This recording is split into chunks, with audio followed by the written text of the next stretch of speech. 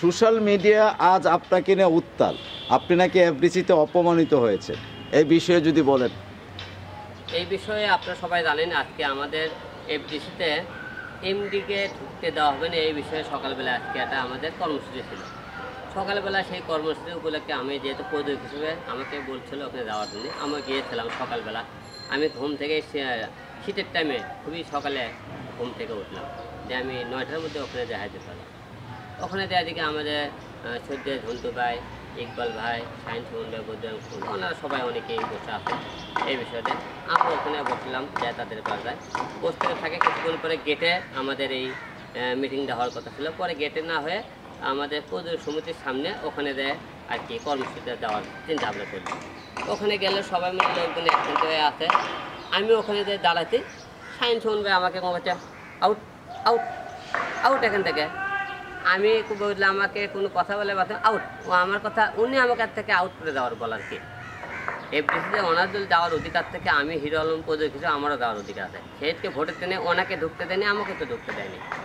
তাহলে আমাকে ওখানে অবমান করা হলে কেন? আমি জাতির কাছে জানতে চাই যে সায়েন্স ভাই আমাকে ওখানে কেন অবমান করল?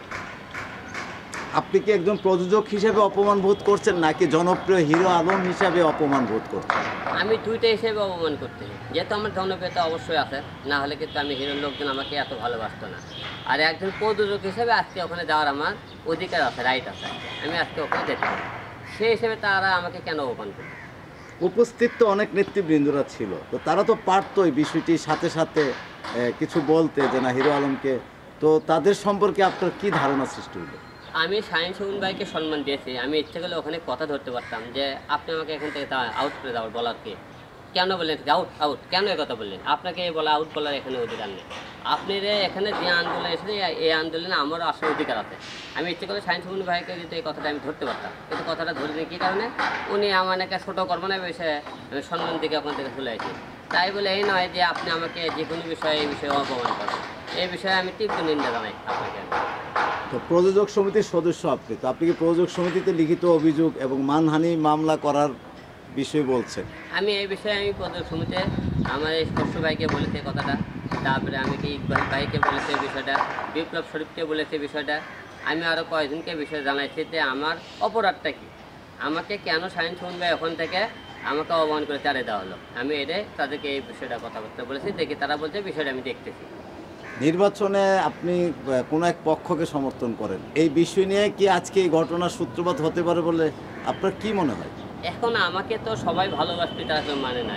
সবাই আমাকে উনি কেন এরকম করলে জানি না। আমি ওকে যতজন ওখানে এফডিসি দেয় আমি তাকে সম্মান করে, সালাম দিয়েছি আমি তাকে সম্মানের সাথে সাথে কথাবার্তা বলি। হ্যাঁ? কিন্তু উনি কেন এই কাজ করলে আমি জানি না। ওনার কি আমার উপর কোনো কপি ছিল কি তাও জানি না। আমি যেহেতু নিপুণ কাঞ্চন কানিনের সমর্থন করতে সেই হিসেবে কোনো ক্ষোভ ছিল? না, আমাকে তার ভালো লাগে না, সেই হিসেবে ক্ষোভ ছিল। কেন আপনি ওখান থেকে আমাকে তাড়িয়ে দিল? এই প্রশ্নের উত্তরটা আপনারা জনগণ এবং সাংবাদিক ভাইরা সায়েন্স ব্যাগ থেকে নেবে। আমাকে ওখান থেকে কেন সে হলেতে দূর দূরকে তাড়িয়ে দিল। ইলিয়াস কাঞ্চন নিপুণ প্যানেলে আপনার উপস্থিতিতে অনেক বড় মিছিল হয়েছে এবং আপনার খুব প্রকাশ হয়েছে, আপনি কেন ভোটার না। এবং ইলিয়াস কাঞ্চন নির্বাচিত হয়েছে। নিপুণ হয়নি। তো নিপুণ যে অভিযোগ করছেন ভোটের ব্যাপারে, যে এখানে কারচুপি হয়েছে, এই বিষয়ে আপনার মতবাদ এখন যেহেতু নিপুণ আফা অভিযোগ করেছে, এটা নিয়ে তিনি আপিলও করেছে, শুনেছি আমি। আজকে আবার এটা নিয়ে আপনি সাংবাদিক সম্মেলনও বলে ডেকেছে, আমি শুনেছি। এখন এটা রায় বোঝা যাবে যে কত দূর ভোটে কেটে ভোট চুরি মনে করেন হওয়ার সম্ভাবনা থাকতে পারে, যেহেতু সারা ধরে ভোট গণনা হয়েছে। এই বিষয়ে অনেকে অনেক বিষয়ে অভিযোগও করেছে আর কি বিষয়টা নিয়ে। আপনি বলছেন যে তিনশো পঁয়ষট্টি ভোট গুনতে সারা রাত লেগে যায়। তো বাংলাদেশের ভোট গুনতে কত রাত দরকার? আমিও তো একই কথা বলি যে আঠারো কোটি ভোট গুনতে সারা হাত লাগে। আমরা জাতীয় নির্বাচন আমিও করেছি আঠারো কোটি ভোট দেখেছে সারা হাতে গুনেছে। আর আমাদের তিনশো পঁয়ষট্টিটা ভোট আপনার আমাদের কয়টা প্যানেলের লোক যারা এসে আপনি সবাই জানেন সেই প্যানেলের ভোটগুলো এতগুলো ভোট সারা কিন্তু লাগার কথা না। আমার মনে হয় এটা সারা ধরে একটা গবেষণা করছে যে কীভাবে আমাদের তৃতীয় পক্ষকে তৃতীয় পক্ষকে হারান যায়। এটা নিয়ে হয়তো গবেষণার কারণে রায়টা মনে দেরি করে দিয়েছে, আমার মনে হয়। ইলিয়াস কান্ত নিপুণ প্যানেল থেকে সুনির্দিষ্টভাবে অভিযোগ করেছে যে নির্বাচন কমিশন, চেয়ারম্যান, নির্বাচন কমিশন এবং সঙ্গে যারা ছিল, তারা সবাই এই জালিয়াতির সঙ্গে সম্পৃক্ত বা তারা কারচুপি করেছে। এই বিষয়ে কি আপনি একমত? অবশ্যই হতে পারে। যেহেতু মনে করেন ভিতরে অনেকেই ছিল ওখানে, তারপরে মুখে এই ভোট জাল হিসেবে অনেকেই বলতেছে, নিপুণ আপা এটা সত্যটা প্রমাণ করার জন্য লুটতেছে।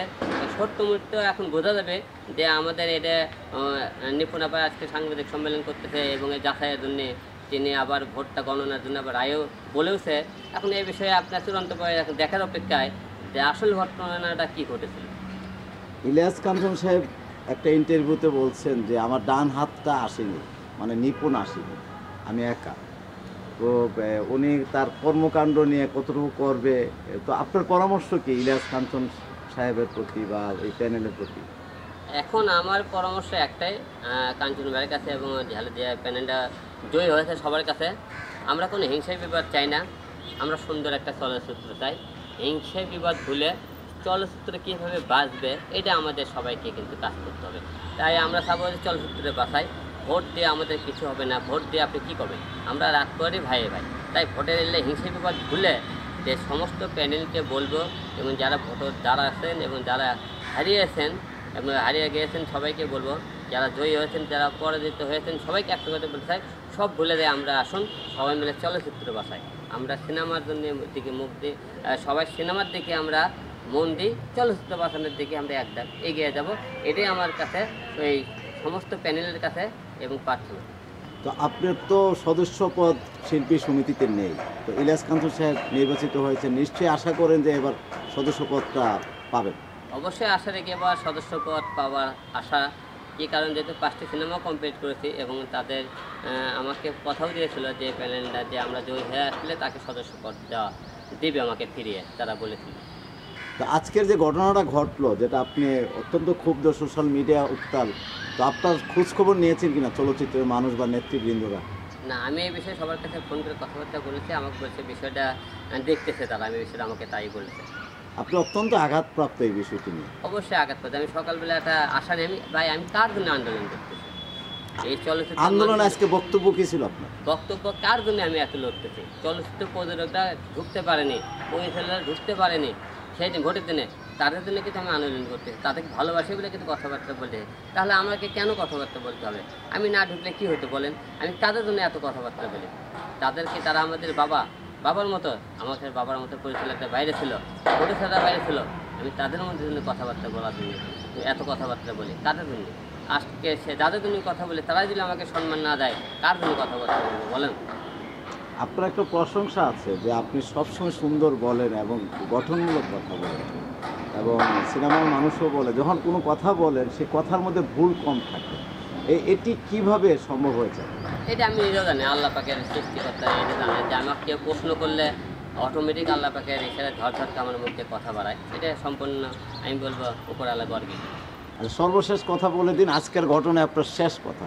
আজকের ঘটনায় আমি তীব্র নিন্দা জানাই সাইন সুমন ভাইয়ের উপর। তাকে শ্রদ্ধা করতাম খুবই সে আমাকে মানুষের মধ্যে অপমান করেছে। আর কেন অপমান করল? কী কারণে করল? একমাত্র আপনারা সবাই জানেন এবং সাইন সুমন ভাই জানে এই বিষয়টা এই জন্য আজকে বিষয় নিয়ে আমি খুব কষ্ট পেয়েছি। হ্যাঁ তাই আপনাকে জনগণকে বিষয়টা তুলে ধরলাম বাকিটা আপনারা পারবেন আহ, আর আপনাদের উদ্দেশ্যে একটা কথা বলতে চাই।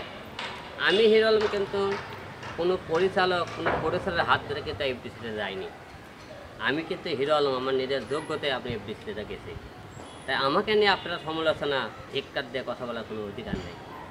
তাই আপনাকে বলতে চাই, যারা আমাকে নিয়ে এত বড় বড় কথা বলেন, একবার তাদের পিছন সাইড দেখে আসুন, আজকে চলচ্চিত্র কারা ধ্বংস করছে? তাদের মধ্যে কিছু পরিচালক অশেষ সিনেমার কারণে চলচ্চিত্র ধ্বংস হচ্ছে এক নম্বর আমাদের। তাই আমাদেরকে আপনারা নিয়ে ধিক্কার না দিয়ে আপনারা নিজেরা যে চলচ্চিত্র কীভাবে বাড়বে এটা নিয়ে ভাবুন তাই আমাকে নিয়ে সমালোচনা করার আগে একবার ভাববেন যে আপনারা চলচ্চিত্র নিয়ে কী করেছেন এখনও কী করতেছেন? তাই আপনারা আমি আপনাদেরকে শ্রদ্ধার সাথে জানাই যে ভবিষ্যতে আমাকে নিয়ে আর কেউ ধিক্কারমূলক কথা বলবেন না। আমি হিরো আলম। আমার আলোতে আলোকিত। আমি কারও ধার করা আলো নিয়ে চলি না। তাই আপনারা আমাকে নিয়ে সমালোচনা না করে নিজের সরকার তেল দিন আমি নিজেকে একসময় সবচেয়ে অপরাধী মনে করতাম যে আল্লাহবাক কেন আমাকে এত অসুন্দর করে পাঠালো? তবে এটা আমার ধারণা ভুল। কারণ আল্লাহ সৃষ্টিকর্তা মানুষ সবাই। আমি খুবই সুন্দর দেখতে, আমার কথাবার্তা সুন্দর। আমি নিজেকে বুঝতে পারছি যখন আমাকে লোকজন ভালোবাসে, আমার কাছে আসে, তখন বলে, তুমি নিজেকে কেন ছোট মনে করো? আল্লাহ তোমাকে যিনি সৃষ্টি করেছে, আমাকেও তিনি সৃষ্টি করেছে। তাই মানুষের চেহারা নিয়ে সমালোচনা করার থেকে না করাই ভালো। তাই আমার চেহারা আল্লাহ পাক দিয়েছে, যতটুকু দিয়েছে, আমি মনে করি আমার চেহারার কাছে আমি সবচেয়ে সুন্দর মানুষ। আর সর্বশেষ প্রশ্ন হচ্ছে যে শিল্পী সমিতি তারা আসবেন ক্ষমতা গ্রহণ করবেন আগামী নির্বাচনে নিশ্চয়ই আপনি শিল্পী সমিতিতে অংশগ্রহণ করবেন। না এই মুহূর্তে আমি অংশগ্রহণ করব কি না জানি না এই বিষয়টা নিয়ে। এখন আমার ভিতরে এরকম কোনো প্রস্তুতি নাই। সামনে আমাকে শিল্পী সমিতির সদস্য পদ পাওয়ার পরে সবাই ধর মনে করে হিরো আলমাকা দরকার সবাই বললে আসব নাহলে আমার ইচ্ছাগতভাবে আসার কোনো ইচ্ছে নেই। ধন্যবাদ।